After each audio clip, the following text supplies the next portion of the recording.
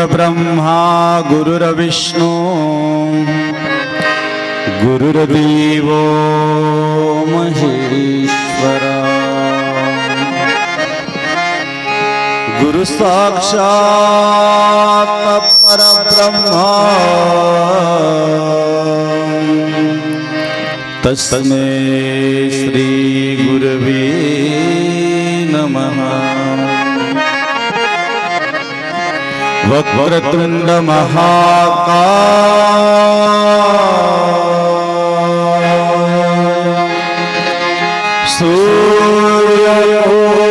सूर्यप्रभा निर्विघ्नं कुरु मे देव सर्वकारेषु सर्वदा ब्रह्मानन्दं परमसुखदं केवलज्ञानमूर्ति द्वन्द्वातीतं गगनसदृशं तत्त्वमक्षादिलक्षम् एकं नित्यं विमलमचलं सर्वदी साक्षभूतम् भावातीतं त्रिगुणरहितं। सद्गुरु तन्नमामि कैलासराना शिवचन्द्रमो। फणीन्द्रमाथा मुकुटी जळा कारुण्य सिंधु भवदुःख हरी तुझवीन शंभो मज कोणता सर्वमङ्गलमाङ्गल्ये शिवी सर्वार्थसाधिके. शरण्ये त्र्यम्बके गौरी. नारायणी नमस्ते मनोजवं मारुततुल्यवेगं। जितेन्द्रियं बुद्धिमतां वरिष्ठं। वादात्मजं वानरयुतमुख्यं। श्रीरामदूतं शरणं प्रपदेव नम पार्वती पते हर महादेव गोपाल कृष्ण भगवान की जय श्री गुरुदेव दत्त सद्गुरु स्वामी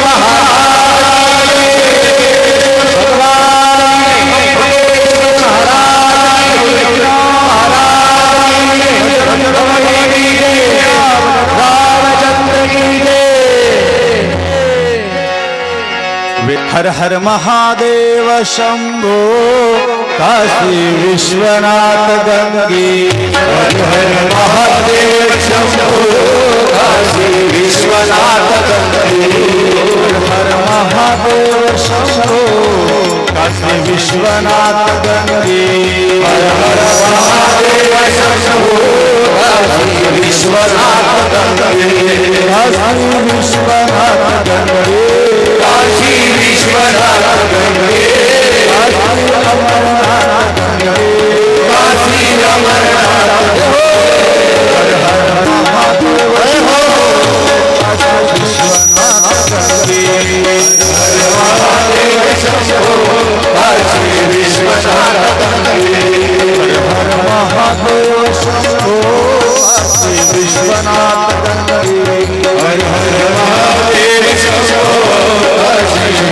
जनार्दन जनार्दन सद्गुरु स्वामी जनार्दन जनार्दन सद्गुरु स्वामी जनार्दन जनार्दन सद्गुरु स्वामी जनार्दन सद्गुरु स्वामी जनार्दन सद्गुरु स्वामी जनार्दन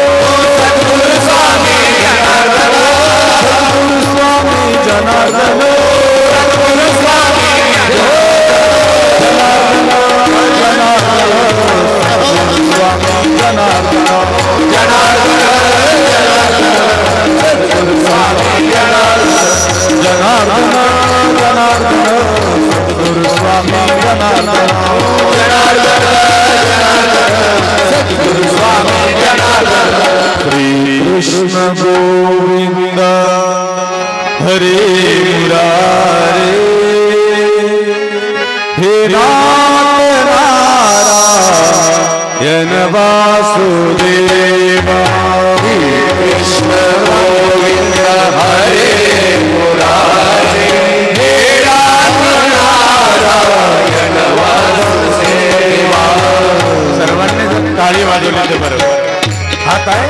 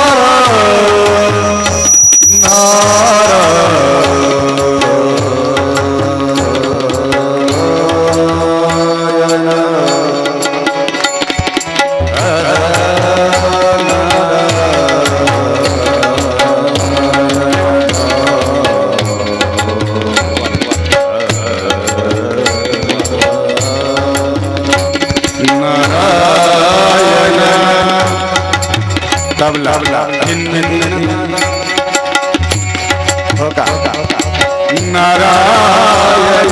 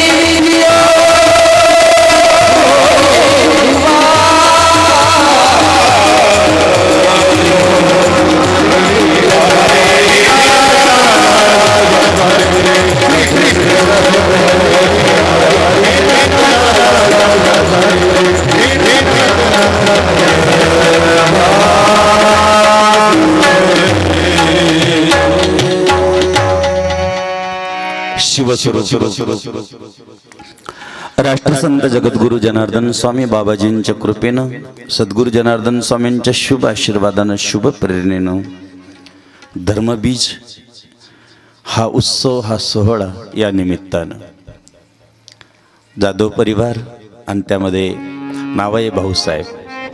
भाऊसाहेब नावाला विशेष महत्त्व असतं. आणि असावं. बाबाजींची या ठिकाणी पाद्यपूजा झाली पूजन झालं संत महात्म्यांचंही पूजन झालं. अनेक संत महात्मे या व्यासपीठावर आहे. आखाड्याच्या नेमानं ओम नमो नारायण. बाबाजींच्या परंपरेने जय जनार्दन. आणि तुमच्या परंपरेने जे हरी. कारण सर्वच एकाच ठिकाणी आहे. आणि तेच आपल्याला अनुभवायचं आहे उद्याच्या व्यासपीठावर. महाराजांनी सांगितलं संतोषगिरी बाबा आहे आमच्या बाबाजींच्या परिवारातील दहेगावाच्या एक जन्मभूमीमध्ये जिथं एक सूर्यनारायण प्रकाशित झाला. अवघ्या विश्वाला प्रकाश देऊन गेले. जे उगले कुळामध्ये खऱ्या अर्थानं सूर्य उगवला ते आमचे बाबाजी आणि त्या बाबाजींच्या परिवारातले आमचे विमलगिरी बाबा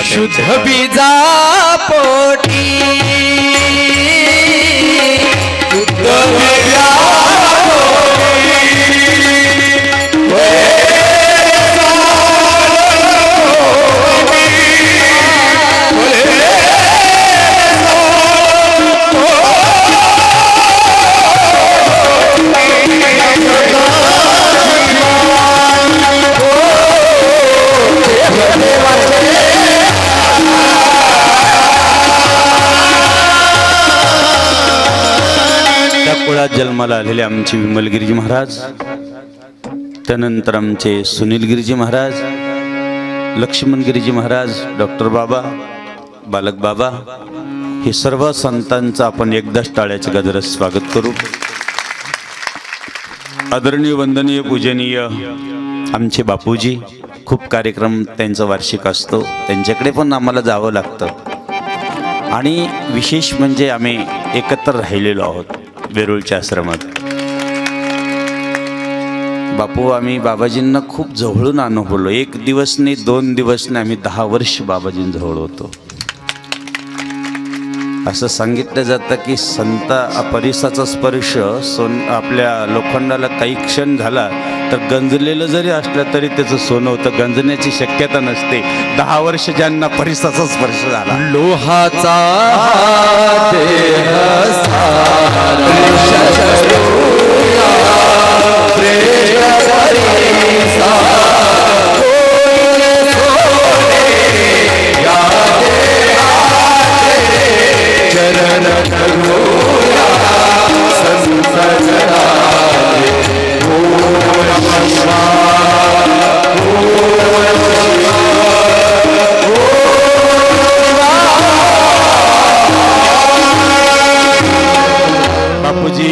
आमचा फार जिवळ आहे. पहिल्यापासूनच आहे. आणि ती गुरुमाऊलीची कृपा आहे. आम्ही बापूंचंही या ठिकाणी टाळ्याच्या गजरात स्वागत करतो. आदरणीय आमच्या अण्णा जिथं कथा असेल जिथं प्रवचन असेल धावपळ करीत येतात पण एक शाल घेऊन येत जातात. एक आदर्श आहे संस्कृती आहे परंपरा आहे आपण खाली हातानं जाऊ नये. आणि म्हणून नेहमी ते येतात त्यांचे या ठिकाणी टाळ्याच्या गजरात स्वागत आहे. हरिभक्त परायण खऱ्या अर्थानं रत्न आहे. आणि संतांच्या संगती मनोमार्गगती आकाळावाला जैनी श्रीपती ते आमचे निवृत्ती महाराज आहे की संतांच्या संगतीत राहतात कायम. महाराजांच्या सानिध्यात राहणं सोपी गोष्ट नाही आहे बाबाजींचा परिवार आहे अजूनही साधू संत त्यांच्या सहवासात आहे. म्हणजे त्यांच्या त्यांना त्यांचा सहवास मिळालेला आहे. म्हणून संतांची किंमत त्यांनी पहिल्यांदाच सांगितली काय असते. कारण संता विनय प्राप्ती नाही. ही वेदानं सुद्धा काय दिली? मग ते आमचे महाराज आता प्रत्येक ठिकाणी येतात. आता जिथं जिथं आम्ही कधी कधी जाऊ शकत नाही पण तिथं ते पोचतात हे वैशिष्ट्य आहे. आणि म्हणून आत्ता मागं आमचे मधुगिरी बाबा आमच्या संघ होते मानवडला. बाबा म्हणे खूप छान कीर्तन झालं त्यांचं. अशा संतांच्या मुखातून निघायला पाहिजे. आम्ही तुमचंही टाळ्याच्या गजरात स्वागत करतो. जास्त वेळ आणि मला एक आनंद वाटला. तुम्ही कथा करता का महाराज? हो. हा, मग बरोबर आहे. कारण म्हणलं यांनी पत्नीला का संग आणलं? कारण भगवान शंकर हो, थांबा. एक काळ त्रेता जुगमाई शंभो गये कुंभदृषी पाय. या ठिकाणी संग सती जगत जननी भवानी. हे मला आठवलं. म्हणजे याचा अर्थ धर्माचं. हा म्हणून तुम्हालाही जमदडे महाराज खूप खूप धन्यवाद. एवढ्याच वर्णन करता करता माझं याच्यातच प्रवचन जाईल. हे व्यासपीठच एवढं भरलेलं आहे. जगताप महाराज आणि सर्व महात्मे आमचं आमचे मेघने सर त्यानंतर तबलजी आमचे ईश्वर आणि त्या ताई आल्या होत्या वाजवायला पकवत. कुठे त्या? मग सगळं आहे का? तिथंच एखादा पकवत द्या ना जरी बाबाजींची पालखी असेल तर. हां? हरिभक्त पारायण चांगलं उत्कृष्ट पखवाद वाजवतात. विशेष आमच्या बाबाजींच्या परिवारामध्ये खूप मोठं कार्य आहे. ज्यांचं खूप ठिकाणी कीर्तन चालतं. हरिभक्त पारायण कल्याणताई पण या ठिकाणी आहे. आणि त्या ताईंचं काही नाव नाही. जमडे जमधडे ताईच ना हरिभक्त पारायण. कारण एक जमधडे आमच्या वर्गात वेरवळला होता. सदाशिव जमधडे ते तिकडचे होते. आणि म्हणून सर्वांना आणि भाविक भक्तांना माता भगिनींना या ठिकाणी एक सद्गुरू जनार्दन स्वामींचं एक लेकरू आहे. मी काही पदाचा प्रतिष्ठेचा कुठल्याच गोष्टीतला नाही आहे एक सद्गुरू जनार्दन स्वामींचा एक छोटासा झेंडा घेऊन एक जसं वारकरी आम्ही पंढरपूरला जातो ही वारी आम्ही सद्गुरू जनार्दन स्वामीची गावागावात फिरून फिरतो आहे ही फेरी आहे. गावोगावी ही फेरी फिरते. आहे जनार्दन बाबांची कृपा झाली. जगन कृपा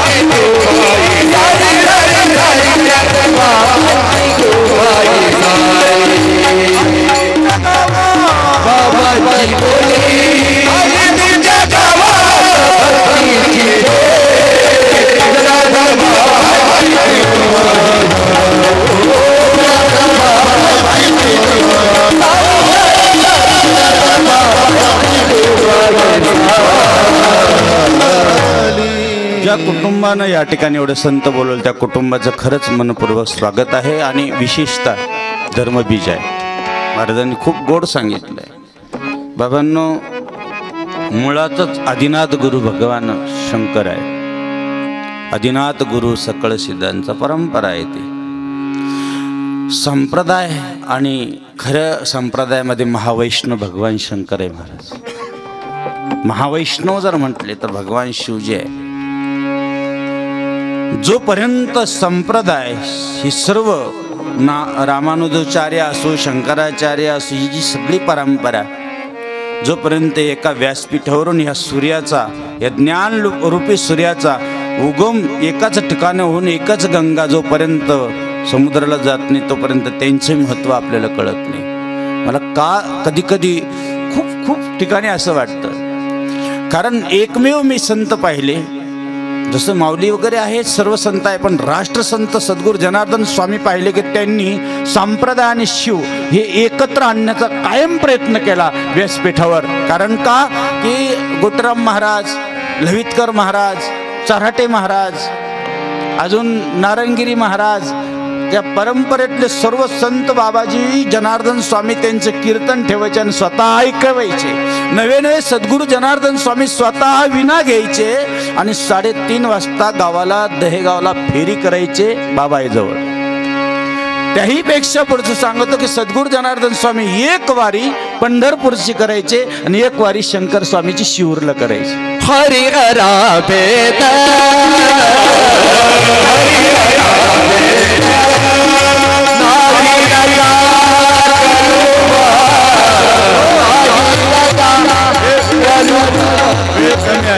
फक्त हा मेळ जसं आपण सांगड बांधा रे बांधा रे भक्तीची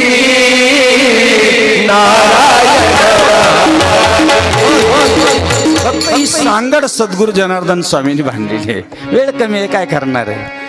ही सांगड कोणी बांधली? बाबाजींनी बांधली. म्हणून ही सांगड आहे. ही गोडवा आहे. नाहीतर कुठंच नाही हा. छत्तीसचा आकडा इथं केलाच नाही जनार्दन स्वामींनी. तो मिळवलेला आहे. तेहतीसचा केला.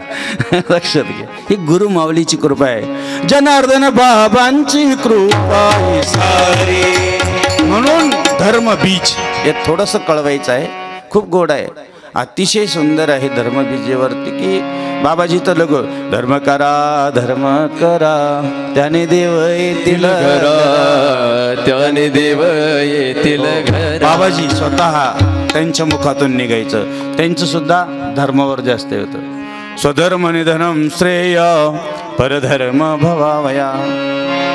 किंवा ज्या ज्या वेळेस ह्या पृथ्वी तलावरती अनेक प्रकारचे अरिष्ट येतात अनेक प्रकारचं दुःख येतो आणि संत महात्मे ब्राह्मणावरती अनेक प्रकारचे गायीवरती अत्याचार होऊ लागतो. त्यावेळेस भगवंताला परित्राणाम साधूना विनाशाय च दुष्कृता धर्म संस्थापनार्थाय संभवामी युगे. युगे धर्म सांभाळण्यासाठी देवाला अवतार घ्यावा लागतो. पण तो युगायुगाला येतो. पण युग युग कोण सांभाळते? ते संत सांभाळतात. कोण सांभाळतात? साधू संत. एक सुंदर अशी कथा आहे. सकाळीच आमच्या मधुगिरी बाबांनी सांगितली. काय असते ताकद? एक माऊली ज्यावेळेस निघाली निवृत्ती दादा होते सगळे होते. आणि नेवस्याला आले. एक पत्नी सर्व सर्व आपल्या त्या ठिकाणी पती देवाला चालले स्मशानात चालले. ही कथेवरून मला ही कथा आठवते. बाबा तुम्ही सांगितलं ना की त्रिविक्रमाचं जे घटना आहे राजाची किती सुंदर आहे ते प्रसंग. किती गोड आहे. की त्या एवढा चांगला राजा प्रजेचं पालन करतो धर्माचं पालन करतो आणि जगाला सोडून जातो म्हणून प्रत्येकाच्या डोळ्यात दुःख आहे. चांगला माणूस गेला ना तर प्रत्येकाच्या डोळ्यात दुःख आहे. आणि एखादा जर पापी गेला ना तर प्रत्येकाच्या पुढचं नाही सांग चांगला गेला तर प्रत्येकाला अरे नव्हतं जायला पाहिजे हो लय चांगला होता. म्हणून असा आक्रोश प्रयाग क्षेत्रावरती कोणी ऐकला? मच्छिंद्रनाथाने ऐकला. आणि त्यांचे अतिशय जिव्हाळ्याचे अतिशय प्रेमाचे अतिशय गोड शिष्य गोरक्षनाथने ऐकले अहो महाराज अहो हे काय रडताय? जर चांगला प्रजेचा राजा जात असेल तर तुमच्यात ती योग शक्ती आहे ना? जागृत करा ना. जा ना त्यांच्यात प्रवेश करा ना. आणि प्रवेश करण्याची शक्ती योग्यामध्ये असते. ही लक्षात असते की नाही? त्यांच्यात प्रवेश करा. आता गुरु शिष्याचं आहे.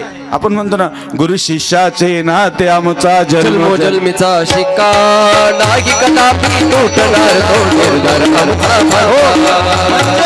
तुटूच शकत नाही. गुरु शिष्याचं नातच असं आहे. आणि त्याच वेळेस आज्ञा झाली. प्रवेश करत आहे खूप गोड आहे. एकदा असं झालं की तिकडेच तसंच ते प्रेत चाललंय. आणि मग माऊलीने पाहिलं की हे प्रेत चाललंय. हे तर आता काहीतरी मार्ग मिळाला पाहिजे. उठून बसवलं कोणाला? सच्चिदानंद बाबाला. हाही प्रसंग आहे. नाथांच्या परंपरेतलाही हाही प्रसंग आहे. आणि जनार्दन स्वामीचा तोही प्रसंग तुम्हाला सांगतोय. तीन प्रसंग एकत्र केला तर मजा येते. कारण खिचडीत बटाटे असावा. नाहीतर ती खिचडीच मजा नाही. किती गोड आहे.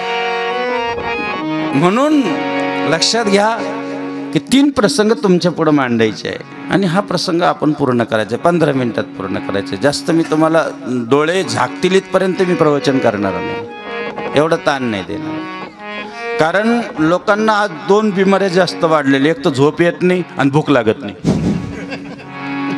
रात्री रात्री बारा एक वाजत तरी जागा त्या लोक. आता आमच्या सारखे ठीक आहे आम्हाला हे कामं लावून दिले देवाने. पण नसताना जागणारे खूप आहे. बरं काही काही तर म्हणजे आता काय सांगा पुढचं सांगतच नाही अजिबात नाही सांगणार. परंतु एवढं वाईट वाटतं की का झोप येत नाही आणि का एवढं लोक भूक लागत नाही? आणि ज्याला झोप लागत नाही ज्याला भूक लागत नाही सगळ्यात मोठा रोगी तो. जगातला सगळ्यात मोठा रोगी कोण आहे? ज्याला झोप लागत नाही ज्याला आमच्या गवळी आजीचं मी मुद्दा आले गवळी आजी आले का नाही आले? त्यांनी काय केलं माहिती? झोप लागत नव्हती. किती महिने? बारा महिने. जमीन इकू सगळं इकून टाकू. बाबाजी बाबाजी काय करायचं? म्हणलं काहीच करू नका. जनार्दन स्वामीचं चरण धरा आणि बाबाजीचं भस्म लावा आणि विधी करा. एक वर्ष विधी केली. बाबाजींच्या कृपेने बापू झोप तर लागलीच पहिल्या दिवशी परंतु त्या आजीने विनंती केली की जनार्दन स्वामीचं दर्शन व्हावं. ज्या वेळेस ह्या कशा घटना घडतात ना त्यावेळेस आपल्याला कळतं की संत आहे महापुरुष आहे योगी पुरुष आहे. कारण धर्म कळायला पाहिजे. मी कालही कीर्तना सांगितलं की गाय जर पाच दिवस उपाशी असली ना तरी तिच्या पुढं मांस टाका खात नाही. जनावराला धर्म कळाला माणसाला कळत नाही. वाईट आहे. माणसं अजूनही खातात आणि अजूनही पितात. कोरोना आला तरी सोडत नाही. काय काय कोणता रोग आला? ना कोरोना मला नाही येत त्याचा आवाज. पाळा तो. अजूनही आहे बरं का गेला नाही तो तुम्हाला सोडून. अजूनही ती पट्टी बिट्टी बांधा. मुसके बांधा अजून सोडू नका कारण ते मुसके ज्यांनी देवाचं नाव घेतलं नाही त्याला मुसके आलेच. लक्षात घ्या. कधी घरचं खाल्लं नाही त्याला घरचं खायला लावलंच. हॉटेलमध्ये बारा बारा वाजेपर्यंत बसलो आपण आणि बिचारी वाट पाहायची दारात कधी येईल ते? यायचं आडवं तिडवं परत जर अशी वेळ होती तर कसे घरात बसवले त्यालाच माहिती देवाने. कधी कधी असे देवाचं रूप येतं ना तर कृपाच करतो त्याचं नावच करुणा होतं करुणा करा. खरं आहे का नाही? खरंच केली कृपा. सगळे लोक वरचे होते ना हवेतले ते खाली आले. जमिनीवर आले. पाळा खरंच पाळा. आता तो परत कोंबड्यात आला तो. कधी दिवसात काही दिवसात बोकड्यात येईल. राग नका येऊ दे तुम्हाला. म्हणजे तुमचं आपाप बंद होईल. आम्हाला सांगायची गरज नाही. खायचं बंद करा प्यायचं बंद करा. म्हणायची गरजच नाही पडणार. आपाप बंद होणार आहे. व्यसने सारी सरळ जीवन जगा. हो जीवन जगा.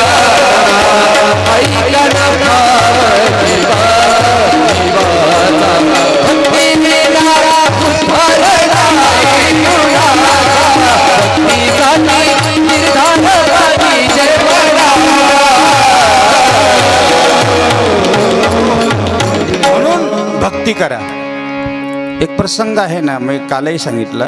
अतिशय गोड प्रसंग आहे महाराज. चरण सोडू नका भगवंताचं. लक्ष्मणजी पाठीमाग आहे. मधी सीतामाई आहे आणि हा पुढं कोण आहे? प्रभू रामचंद्र आहे. हे सगळ्यांनी ऐकलेलं आहे. वनात जाताना ब्रह्म पुढं बीच माया. पाठीमाग जीव. बरोबर एक नाही? पाठीमाग कोण आहे? जीव आहे. मग तुम्ही म्हणाल जीवाचे पुढं माया आहे हे कसं शक्य आहे?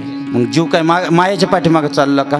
नाही मायाच्या पुढं ब्रह्म आहे. जी माया ब्रह्माच्या मागं चालते त्या जीवाने ब्रह्माच्या मागं चालण्याला काय हरकत नाही ना? जीवा जी माया आहे तीच ब्रह्माच्या मागं चाललेली आहे. जे संत आहे ते ब्रह्माच्या मागं चाललेले त्यांच्या पाठीमागं चालायला जीवाने काय हरकत आहे हे तुम्हाला सांगायचं आहे. काय हरकत काय? आहे ज्या संतांनी मार्ग दावणी गेल्या आधी मग ती बरोबर आहे ना? परंतु तेच मारुतराय ज्या वेळेस अशोक वनात गेले आणि तिथं सीतामाईला नमस्कार केला. सीतामाईनं असं पदर पसरला आणि एकच सांगितलं की माझ्या प्रभू रामचंद्राला सांगा की सीतामाईनं असं पदर पसरून तुम्हाला नमस्कार केला. काय सांगितलं? अशी परंपरा होती ना पदर पसरायची. आता नाही राहिली पदरच छोटे छोटे झाले. असे एवढं मोठं पदर असायचं पहिला. नमस्कार करताना आणि असा केला म्हणून सांगा. परंतु एक अजून सांगा माझ्या लक्ष्मणाला पण सांगा की त्यांनाही असाच नमस्कार केला. बारकाईने लक्ष द्या दोन मिनिटासाठी लक्ष द्या खूप घेण्यासारखं याच्यातून चिंता नाही थोडंसं. हे दर्शन कशासाठी आहे? पदर पसरून. आता आम्हाला हात जोडता येत नाही ती गोष्ट वेगळी कारण अहंकारच खूप झाला. हा अहंकार आल्यामुळे आम्हाला नमस्कार करता येत नाही. कारण नमस्कार गेला आणि टाटा आला. हा टाटा आल्यापासूनच आमची वाटोळ लागलं.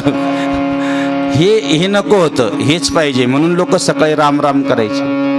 काय करायचं? तुझमे राम मुजमे राम सब मे राम समय आहे. सिया राम सिया सिया राममय सब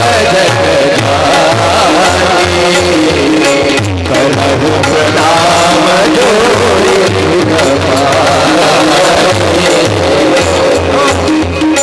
कारण लिंक नाही लाईत मी जास्त खोलवरती. मग ते अजून चुटके चुटके सापडत चालतं आणि बघा हा दृष्टांत खूप घेण्यासारखा आहे. हनुमंत प्रभू रामचंद्र पुढे गेले आणि सांगितलं प्रभू आईनं तुम्हाला असा नमस्कार केलेला आहे. प्रभूला खूप भरून आलं. आणि त्यानंतर सांगितलं लक्ष्मणजी तुम्हाला पण असाच नमस्कार आईने केलेला आहे. लक्ष्मणच्या डोळ्यात पाणी आलं. आई मी माझी आई आहे. आणि आईनं लेकराला नमस्कार करावा हे मला काही बरोबर वाटलं नाही. काय हनुमंत कसं काय झालं? काय कारण आहे? म्हणे त्याच्या पाठीमागचं एकच कारण आहे. आई म्हणाली ज्यावेळेस मी लक्ष्मणजी आणि मी भगवंताच्या पाठीमागं चालायचो तर अखंड चरणाचं दर्शन घेत चाललो होतो. अखंड दर्शन घडायचं. पण माझा लक्ष्मण आजही एवढा भाग्यवान आहे की माझा लक्ष्मण माझ्या रामाच्या चरणाजवळ आहे. मी एवढी अभागी आहे की माझ्या भगवंताच्या चरणापासून मी आलिप्त झाले आहे. जो चरणापाशी आहे त्याला मी नमस्कार पदर पसरून करते आहे म्हणून. पण मी मात्र मी मात्र आज अभागी आहे. त्यावेळेस फार दुसरा प्रसंग आहे. इथं लक्ष द्या. ज्यावेळेस आईनं असं सांगितलं त्यावेळेस लक्ष्मणजींनी सांगितलं का काय आहे म्हणे मग तू कसं? म्हणे अरे पंचवटीत आले आणि पंचवटीत हरीला जे माझ्या हरीच्या चरणाकडे पाहत होते फक्त तेवढं हरलं चित्त आणि हरणीकडे गेलं. लक्षात घ्या बरं. चित्त हरलं आणि हरणीकडे गेलं. काही क्षणापुरतं आतापर्यंत त्यांच्या चरणापर्यंत होते ना तोपर्यंत चरण होतं. पण हरणाकडे पाहिल्यानंतर हरी गेला हरण आलं आणि हरणानं माझं चित्त हरल्यामुळं मला लंकेत यावं लागलं. काही क्षण जर हरीपासून दूर गेले तर लंका आहे. लक्षात घ्या. भजो मन राम चरण सुखदाय. भजो मन राम राम चरण राम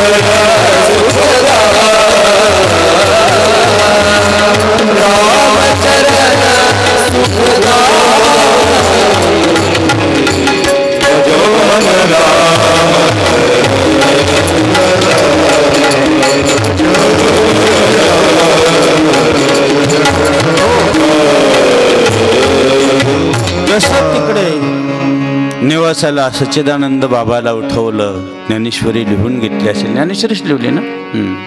तसं इकडे प्रयाग क्षेत्रावरती. त्रिविक्रम राजा आहे.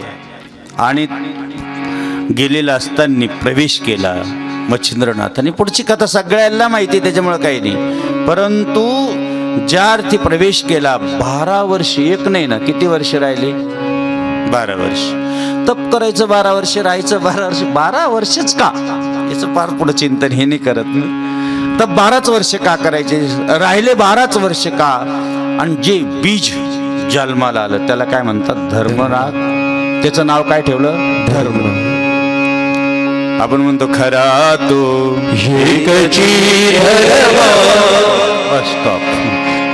जास्त पुढे जाऊच नका गती आणि म्हणून तुम्हाला एकच सांगायचं आहे की बाबाजी काय होते? त्या मावशीला झोप येत नव्हती आणि मग बाबाजींनी तिने विनंती केली की जानू बाबा एक दिवस मला दर्शन द्या. मी काय हे बघा तुम्हाला प्रामाणिकपणाने सांगतो मी तुमच्याकडे आलेलो आहे. काहीच मागण्यासाठी आलो नाही. पण जनार्दन स्वामी तुमच्या अंतकरणात खऱ्या अर्थानं उतरायला आलो आहोत की आजही माझे बाबाजी आहे. माझे बाबाजी पाहिले का? कुणी तरी सांगा. कुणी तरी सांगा.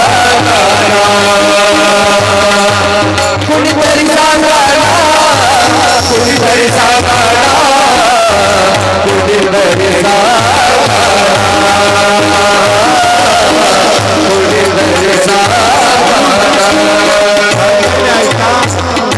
त्या मावशीला बाबाजींना दर्शनाची आराधना केली. इथं महिला मंडळ बसले. वर बोट करून सांगतील ते तर सांगितलं त्यांनी. त्या आईजीने डोळ्यात पाणी आणून सांगितलं बाबाजी एक दिवस सुगावला आणि रात्री अकरा बाराचा टाईम दरवाजा वाजला आणि दरवाजा बाबाने उघडला मधल्या आणि उघडतात बरदनधारी एक महात्मा आम्हाला दिसला. दिवस किती होते? एक महिना झाला एक ते दोन महिने. साक्षी आहे अजून. त्या मावशी आज योगायोगाने आल्याने आल्यानंतर दर्शन झालं. दर्शन झाल्यानंतर बाबाने सांगितलं कोण आहे? आणि काही नाही. त्याच्या आईला दर्शन पाहिजे ना तिला बाहेर पाठवा. बाहेर आली. आईनं पाहिल्यानंतर बाबाजींचा जे जेकार केला. जनार्दन बाहुली बाहुली आज पाहिली. जनार्दन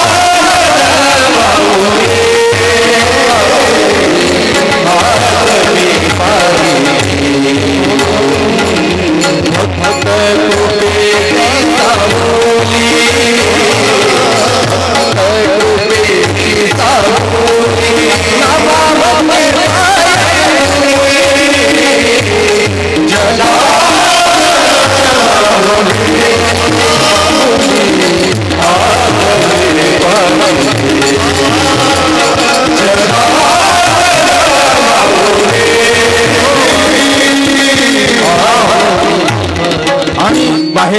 दर्शन घेतल्यानंतर त्यात तुम्हाला काही खोटं सांगून मला काही घबड जमा करून न्यायचं नाही. मला हे दोन लुंग्या पुष्कळ झाल्या तुम्ही दिलेल्या. याच्यापेक्षा जास्त काहीच नको आहे. त्या तुमच्याचे अंगोर दिलेल्या ह्या सुद्धा तुमच्याचे कुठंतरी अंगोर कोण टाकीत आणि तेच आम्ही वापरतो. आणि साधूचं जीवन असंच पाहिजे. दोन लुंगीवर समाधान मानलं पाहिजे. ते गठोडं बांधणारा साधू नको. नाही राग नका येऊ देऊ. कशासाठी पाहिजे साधूला एवढा व्याप? साधू सारखे साधू जसे हिंडा त्या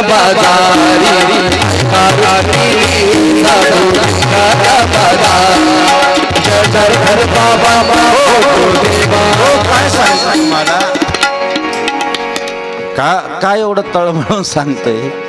काय करायचंय साधूला? आता येणे आखाड्यात आमची शोभा पाहिलेली कशी राहते? का आखाड्यात जेवढा राज थाटा असतो ना तो कुंभमेळ्यात येऊन पहा. तेवढं तुमच्या पंतप्रधानाचं राहत नाही. हा एक टो ही टोकाची भूमिका पाहिजे. कधी कधी ना तो साधून फुटपाटावर जरी बसला तरी त्याने फुटाने खाण्याची तयारी ठेवली पाहिजे. आणि रथात बसवला ना तरी त्याच्यात बदल नाही झाला पाहिजे. तो योग उच्चते असं म्हटलेलं आहे ना. असं साधू पाहिजे. तर मजा आहे. कारण जनार्दन स्वामींनी बारदानं घातलं आणि ते चार ठिकाणी फाटलेलं असायचं आम्ही गाठणी मारायचो. आम्हाला ते एवढे भारी कपडे खिलकची मिळत्या.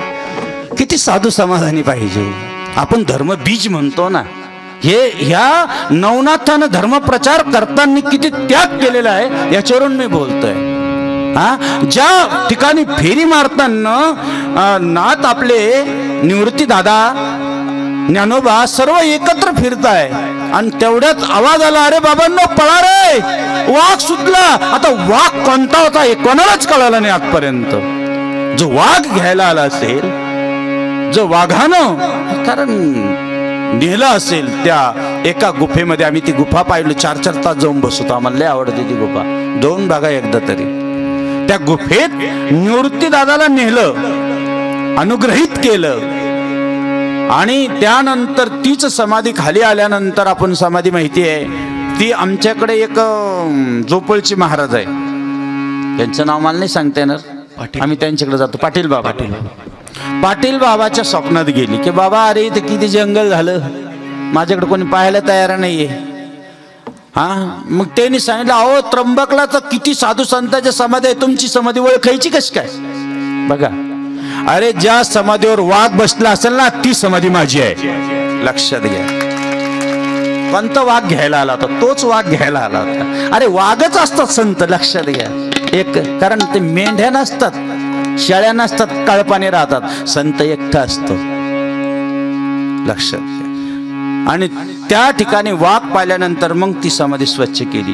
पुढची परंपरा लय गोड आहे. मला लय आठवते ती. पण सांगायची नाही वेळ आपली परंपरा आता इकडं चालेल. कारण हे सगळं एक कसं आहे? निवृत्ती दादापर्यंत आलं हे.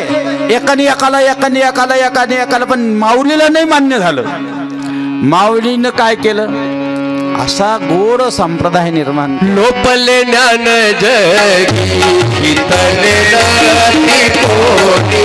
अवतार पांडुरंग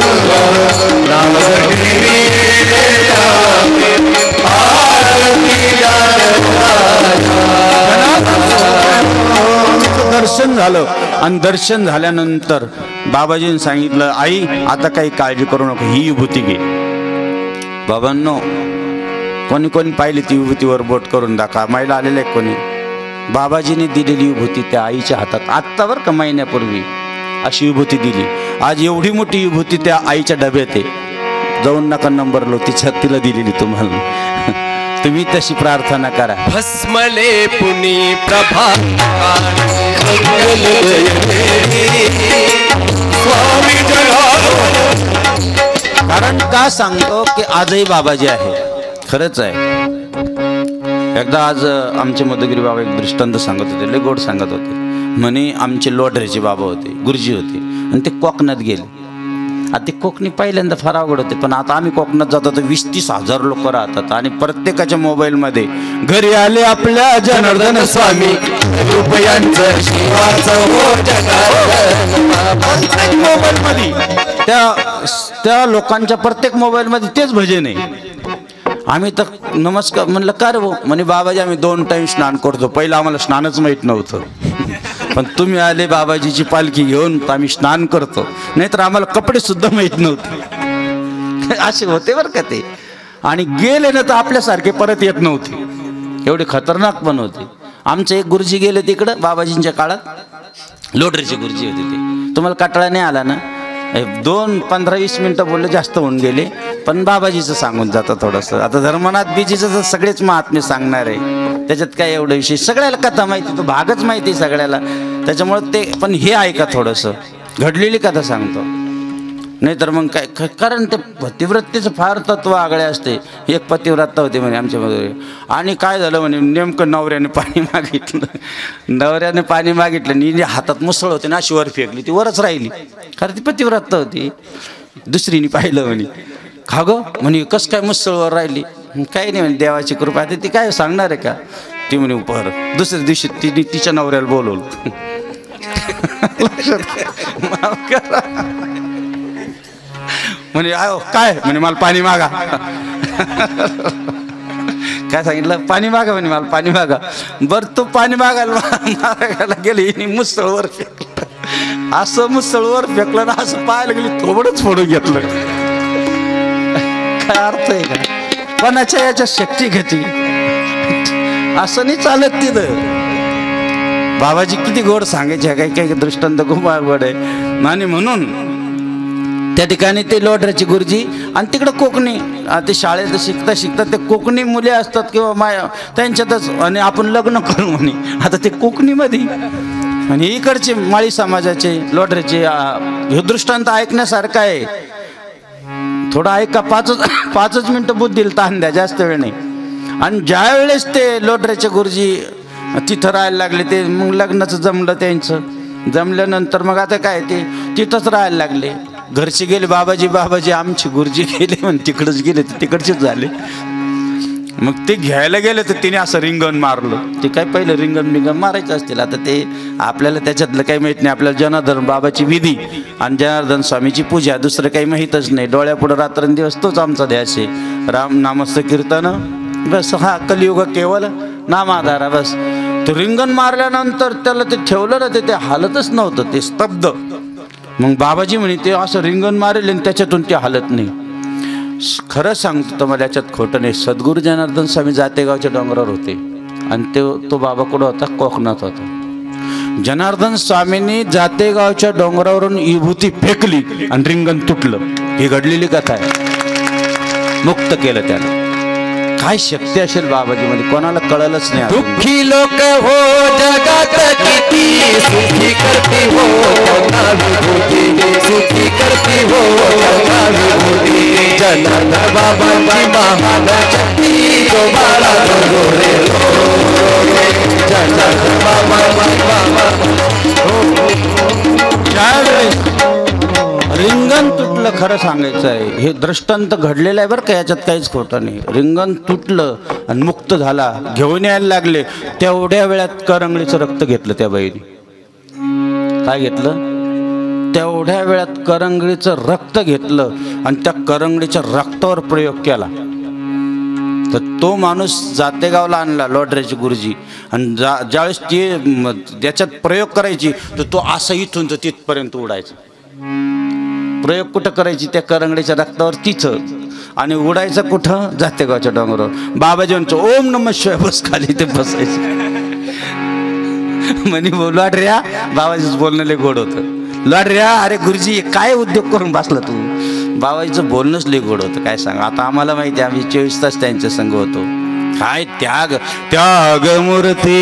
मौन गेले तपसाधन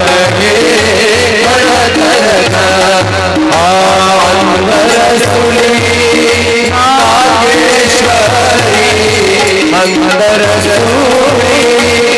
नागेश्वरी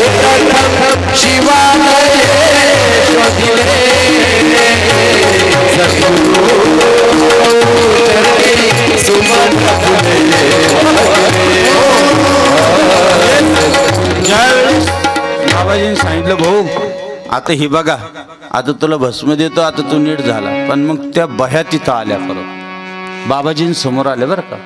बापू बाबाजीं समोर ते आले किती अवघड. अस- म्हणे बाबाजी तुम्ही भगवान शिवाचं अवतार आहे आणि तुमच्या पुढं आमचं काही चालणार नाही पण याला आम्ही जगू देणार. नाही बरं. म्हणे काय? याचा संसारच होऊ देणार नाही म्हणे. याला तुमच्यामुळं हा वाचला पण याचा संसार होऊ देणार. म्हणजे याचा अर्थ याला मुलं बाळ होऊ देणार नाही. काय असते शक्ती या लोकांची. जनार्दन स्वामी आले नसते ना आमच्या भागात आम्ही जगलोच नसतो खरं सांगतो. बागचे बाग उडून देत होते लोक. लय अवघड होते लोक. पण बाबाजींनी सगळे मुक्त केले बाबा. लय उपकार आहे अनंत उपकार आहे संतांचे आपल्यावर काय सांगू आता? संतांचे उपकार.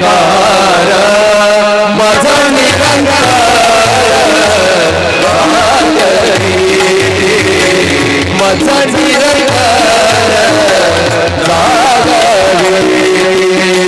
निरंकार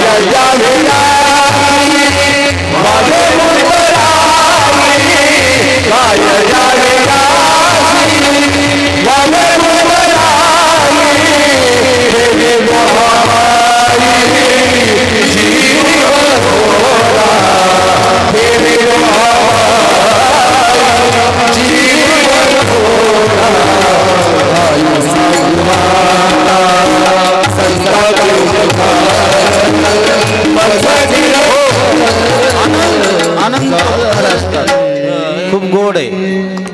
त्यावेळेस बाबाजीने सांगितलं बोलू काही कर तू. तुला आता आहे ना संसार करता येणार नाही. बाकी तू जगशील. जगेल. कायम बाबाची सेवा करत बाबा तो डोंगरावर. पण त्याची जी पत्नी होती बाबाजी तिला असे हात जोडायचे की खरंच तू पतिव्रत आहे. आयुष्यभर भाऊ बहिणी सारखे राहिले. संसार नाही केला बाबा. किती अवघड असत. म्हणून याच्यातून फक्त सोडविना तुझ. पाठीची बहीण. पण एकच चक्रपाणी वाचून कोणीच सोडित नाही बाबा कोणीच सोडत शकत नाही. एक संत आपल्याला सोडतात आपल्यावर ते आशीर्वाद देतात. अतिशय उपकार त्यांचे आहे बाबाजींचे. म्हणून बाबाजी सांगायचे बाबांनो धर्म करा धर्म करा. त्याने देव येतील घरात. धर्माचे पालन. धर्माचे पालन.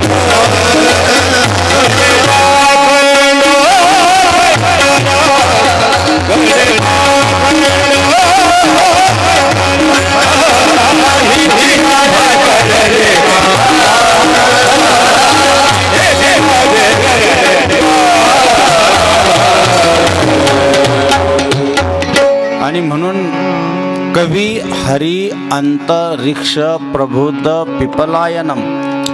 जे नवनाथ आहे ना यांची पहिले अवतारे कवी हरी अंतरिक्ष प्रबुद्ध पिपलायन अविरत्र दुर्लच मज गर्भाजन।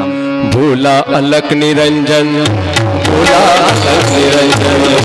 भोला अलक निरंजन। भोला अलक निरंजन। नवनारायण नवनारायण नवनारायण। नवनारायण या जगती प्रकटले कथा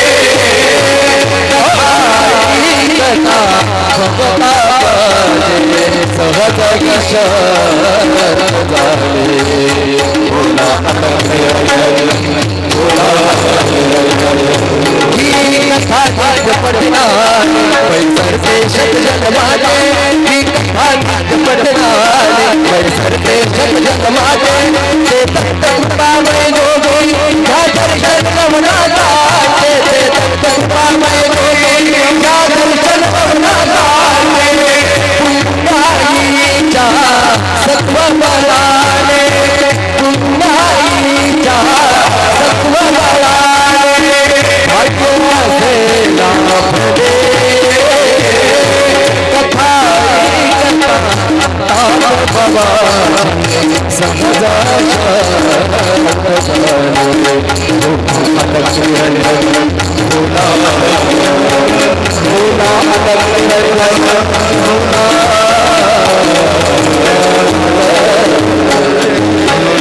या ठिकाणी आपण सर्वजण एकत्र आलो.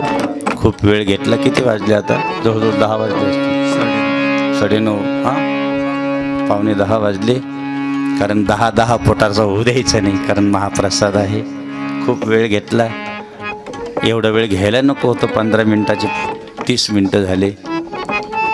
कारण एवढे मोठे महात्मे या ठिकाणी आले.